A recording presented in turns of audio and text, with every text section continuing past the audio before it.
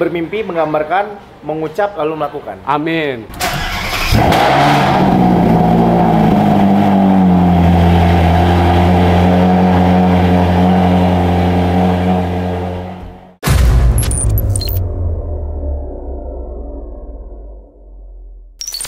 Oke, selamat datang di YouTube channel Hari Kasih. Hari ini gue kedatangan si Rizky Bilar ngambil mobilnya Ferrari. Dan karena Ferrarinya ini sudah dibeli sama orang, tapi eksteriornya di wrapping jadi suasana warna emas. Ya, dia nggak taunya, tahu taunya udah datang di sini dan dia udah ngecek-ngecek mobilnya. Dan kita langsung aja ke tempat Rizky Bilar. Nanti gue ajak ngobrol-ngobrol lah tentang apa eh, yang enak lah ya. Pokoknya, wis itu dia dia udah ngumpet. Halo bro, luar biasa. Terima kasih banyak ya udah Top, mampir ke sini. Selalu ingat nih sama Hardi Klasik. Iya. Dari kecil berkembang berkembang berkembang ya. Amin, amin. Sekarang Bro Rizky Bilar tuh naiknya Ferrari. Gua belum dapat Ferrari, tapi tahun depan Bismillahirrahmanirrahim. Udah kita selawatin tadi. Minimal ya stepnya kalau Porsche lah ya. Porsche dulu lah. 1,5 M lah ya. Iya, 1,5, 1,7. Iya. Iya. Nanti baru naik level ini. Itu, nah itu itu tadi tuh menarik tuh. Gua dulu harus, harusnya beli Porsche kan. Awalnya Porsche. Awalnya mau beli Porsche. Terus? Cuma karena gua ditawarin sama Kobas, ya udah kak beli punya saya aja. Ntar saya kasih harga murah yang nggak jauh dari po- Pasaran. Porsche. Iya, nggak jauh dari Porsche. Yang nggak jauh-jauh lah. Nggak nggak murah, cuma nggak jauh. Ini dia. Tapi secara kelas kan Pride-nya beda. Rate-nya beda. Ferrari. Akhirnya jadi belinya ini. Oh gitu. Berarti benar tuh mimpi gue dari dari tahun lalu tuh gue pengen punya Porsche. Ternyata Ya, Boxster, Boxster. Boxster. Boxster. Gue udah ke mana bro ke Sunter, ke bos, udah udah cek-cek sebenarnya.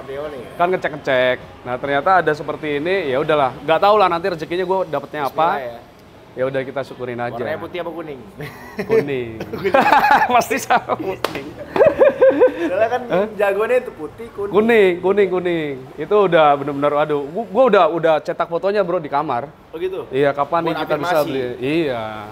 Doa, harapan jadi kenyataan. Amin. Kan orang itu kan kita harus mempunyai mimpi dulu. Betul. Mimpi itu harus digambarkan baru Allah memberikan sesuatu kan gitu. Betul. Kalau versi gua mimpi itu lakukan lakukan mimpi nyata. Mimpi nyata adalah mimpi dengan mata terbuka di mana kita bermimpi menggambarkan, mengucap lalu melakukan. Amin. Itu harus harus bekerja bekerja Iya. keras juga Jangan kan, Bro. cuma mimpi-mimpi di siang bolong doang gitu, Hah? diem-diem aja gitu. Nggak kerja, Nggak kerja, jangan. nggak usaha. Jangan. Nah, sekarang aja harus live-live itu ya. Ah, Live-live iya, TikTok live gitu ya. Iya, Iya, lumayan. cari duit kan? Cari duit lumayan. Iya, yang penting halal gitu. Penting halal. Ya, mantap Gitu. lah. Apa yang bisa kita kerjakan, kita kerjakan. Setelah itu tidak merugikan orang lain. Ya. Dan setelah itu eh, apa uang yang berkah gitu. Amin, Yang juga. Bener-bener, Bro. Tapi gimana overall mobil jadi emas begini gimana, Bro? Ini sebetulnya, Eh. ini gua gua kasih tahu ya. Ini Siap. gua kan dibayarin mobilnya. Oh, Jadi- udah laku. Udah laku mas. Jadi Oke. mobil ini udah gua tawarin dari tahun lalu. Oke, Sebetulnya. heeh. Udah gua jual-jual tuh. Gua sebar tuh udah. Oke. Ke Mas Boy salah satunya, bisa Boy. Oh. Bisa itu tempat gua dulu beli lambu tuh sama dia tuh. Mm-mm, Nah, mm. gua tawarin Mas. Tawarin dong Ferrari gua dong ke klien-klien lo, ke kenal-kenalan lo gitu. Jadi Oh. gua tawarin, cuma waktu itu belum cocok harga. Harusnya kan kayak lu kan tinggal bikin video story aja udah langsung laku, Bro. Iya, waktu itu banyak yang nawarin. Cuma Oh. yang banyak nawarin calo. harganya digoreng-goreng. Eh. Iya, nggak masuk harganya. Nah, baru tahun ini karena kan mobil kan kalau makin lama nggak nggak kita pakai mesinnya me- bahaya dong. Iya, benar, Bisa benar. bisa rusak daripada Iya. bentar boncos nggak gue pakai, jarum baru gue pakai soalnya. Udah Iya. jarum banget. Cuman panasin-panasin doang. Cuma panesin-panesin doang. Dan akhirnya alhamdulillah kemarin dapatnya pemakai langsung.